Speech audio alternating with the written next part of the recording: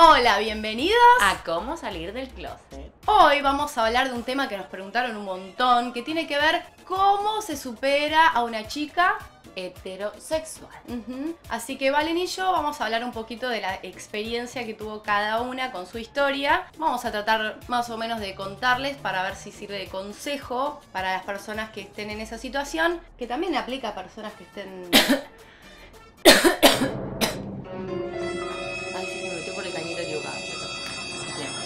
Em, ¡No me dejes viuda! no, amor. Estoy de acuerdo con Sofi. Lo que vamos a hacer es de toda la gente que nos preguntó, la verdad que es un- una temática muy, digamos que evidentemente sí le pasa a muchísima gente. Así que vamos a contar nuestras experiencias, a ver si les sirven de alguna manera.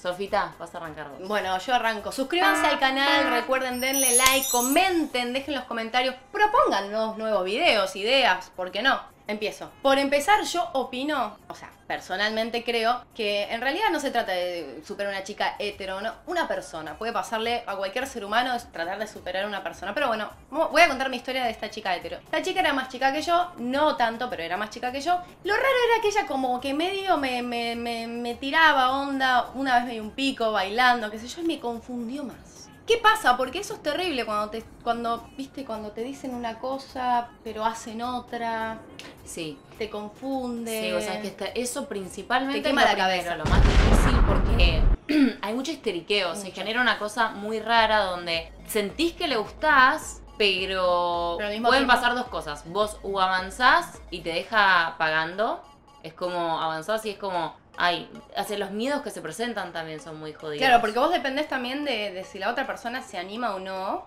Y después de su- los prejuicios que tiene esa persona para con la situación que está, estaría sucediendo. Exacto. También está el histeriqueo que se genera. Y también donde- pasa, perdón, sí. Sí, donde te histeriquean. Vos sabés que es hetero, que tiene novio capaz, o que te, te deja muy claro que es heterosexual, pero vos sentís que te está histeriqueando, o sea, vos sentís la tensión. Y la tensión se genera de a dos. Ey, y muchas veces pasa que pasan cosas. Inclusive vas a la cama y al otro día es, te mando un WhatsApp, te mando un WhatsApp como si nada, no pasó nada, o te ignoran, o te tratan mal, y vos decís, ey, para, ¿qué pasó? Tuvimos relaciones sexuales y ahora me estás diciendo que no. Sí, o besos, o chapes, o, besos. lo, lo que, lo que fuere. Sí. Es como que no se entiende. O sea, el problema con estar con una mujer heterosexual es que te vuelven loca. Sí. Para mí te vuelven loca. Bueno, a mí lo mío duró un par de meses, quiero confesar. Mi historia duró un par de meses, lo cual fue... mm, no la pasé muy bien. Pero esta necesidad que yo tenía como de que pase algo se tornó medio una obsesión. ¿Vieron? Cuando te dicen que no, es como, ¿por qué no? ¿Por qué no? Te pones peor. Y después con el tiempo como que me, me cansó, me agotó. Fue como tanta histeria. Nunca entendí qué quería. Después me decía que no, quiero ser tu amiga, pero no, no querés ser mi amiga, porque un amigo no hace las cosas que vos haces. Es muy importante poner el límite. Yo hubo un momento donde dije no. Basta, basta porque esto no me hace bien, me genera ansiedad, tengo, me siento fea, me siento mal, rechazada y el rechazo no está bueno sentirlo. Entonces, honestamente creo que el stop lo pone, lo pones vos por amor propio, porque uno no puede estar persiguiendo a una persona que está como, ¿cómo se llama? Una zanahoria adelante y vosotros así como un boludo o una boluda. Y No que tiene, bueno. aparte tiene ganas de experimentar. Es como vos le despertás cierta curiosidad sexual, obviamente. Claro.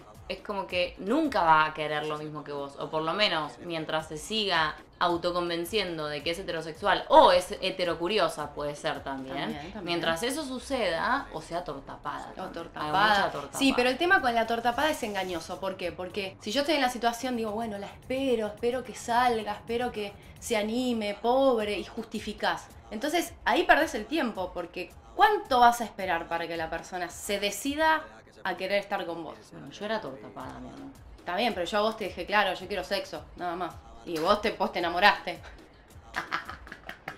¿Sí o no? Ay, qué ¿Sí o no? ¿Sí o no? ¿Fue así o no fue así? Sí. Y bueno, mi amor. Ay, Después te enamoraste y me dijiste y yo dije, wow, ok, va en serio esto. Esta heterocuriosa no me va a romper Ay. el corazón. ¡Ay! ¡Ay! ¡Ay! No puede ser. Te amo. Winner. Sí, pero es verdad, es muy winner, mi amor. Me enamoró con tus dotes. Bueno. Historia ¿Y qué sentiste, amor? O sea, cuando te liberaste de ella, ¿qué fue lo que sentiste? Alivio total, sentí alivio total porque, eh, a ver, es horrible. Aparte uno, yo me enamoré, creí que me había enamorado de la mina. Entonces, uh, es, es- es- es no sé, Es confuso. la pasé mal, es confuso, Sí. es eh, estás todo el tiempo como te agarrás de pelotudeces de cosas muy pequeñas para para decir, ah, le gusto. Y entonces como que también hay un mambo mental de uno con uno para, para decir, bueno, le gusto. Y nada, nada que ver. No sé, por ahí se sentía como una reina porque yo estaba atrás de ella, le gustaba. Entonces ese juego uno lo corta. Pero no la pasé bien, para nada. Cuando me di cuenta dije, no, esta, es- esta no, no, no, listo. Chao. Chao, nena, chao, nena. Mm. Además que medio me usó un poco, ¿eh? Aprovechó la situación que yo estaba como atrás para usarme, para Ay, ciertas amor, cosas. pobrecita. Sí, obvio, obvio. ¿Vos le hacías favores? Sí. ¿Favores sexuales? No. Ah.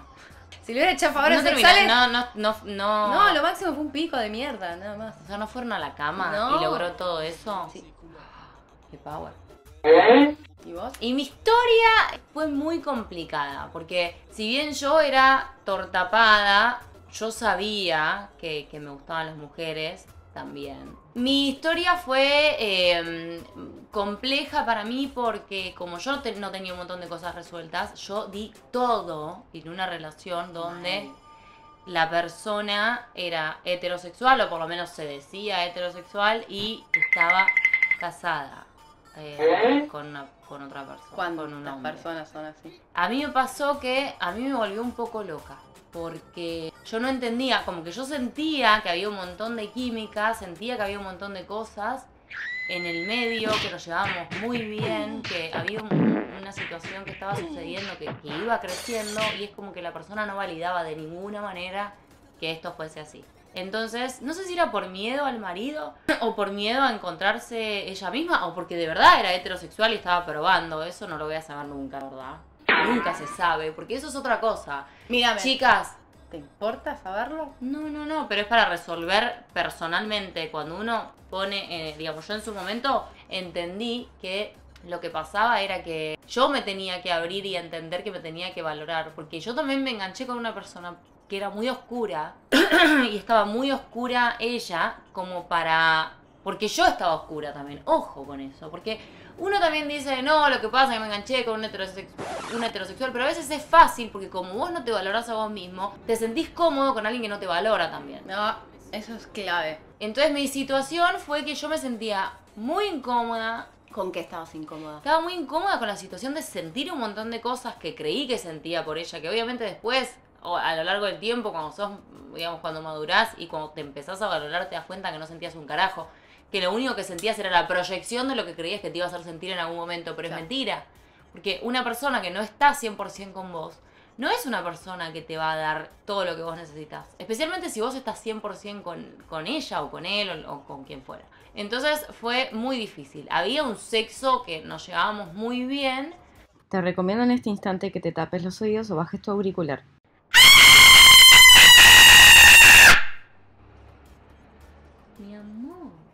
No dije, o sea, me casé con vos. Bueno. Porque vos sos la perfección en la cama. ¡Ah! Ella me llevaba muy bien, que no quiere 3, 2, 1. decir... Venía ¡Odio esta historia! ¡Cambiemos de con mi tema! máquina sexual. Mm, mm, mua. Bueno, Nos llevamos muy bien a la cama. pero lo que quiero decir es que una persona heterosexual, 100%, no se lleva muy bien en la cama con una mujer. No, porque Sí. es, es un prejuicio. Perdón. Debo decir que eso Sí, es un prejuicio. razón. Es un prejuicio. No, a ver, ¿te llevaste bien? Fenómeno. Pero lo que quiero decir es. Sí, pero no, en ningún momento yo me, quiero decir que yo en ningún momento me daba cuenta que me rechazaba. O sea, No, después como que me hizo ver. creer, después me hizo creer ¿Quién dijo, te va no, a lo que pasa- rechazar? que- ¿Quién? Vos despertás en cualquier heterosexual hetero, hetero fantasías. Lesbifantasía. Lesbifantasía. No, pero en serio les digo. Fue, fue muy loco para mí, porque me sentía muy perdida. Muy perdida porque después me- no me validaba lo que yo sentía y era como, ah, bueno, la flasheaste, que te enamoraste. Buah, pará. No Ay, es que- odio eso, eso no está bien. Cuando la gente juega con tus sentimientos, no está bien. Para mí, No lo que más me dolió de esa situación y lo que realmente fue que me, que me puso en alerta fue eso, de no validar al otro. Fue como, hola, ¿qué tal? Acá hay una persona. No, porque vos te enamoraste. Ah, bueno, pará, disculpame, ¿entendés? Es como, ¿what? ¿what? ¿what? Buah.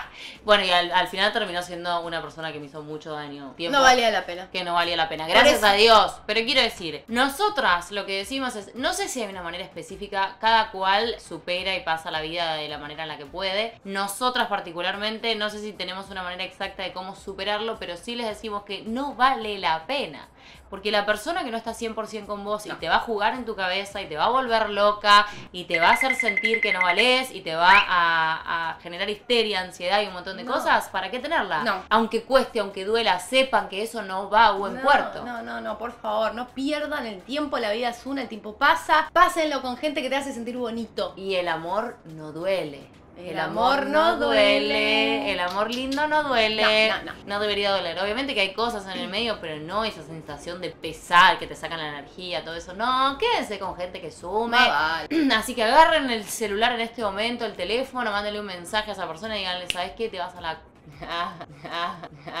Te vas a la voz de sí, yo te hago los pip. Te vas a la reputa madre que te remil concha parió de la reputa que te parió.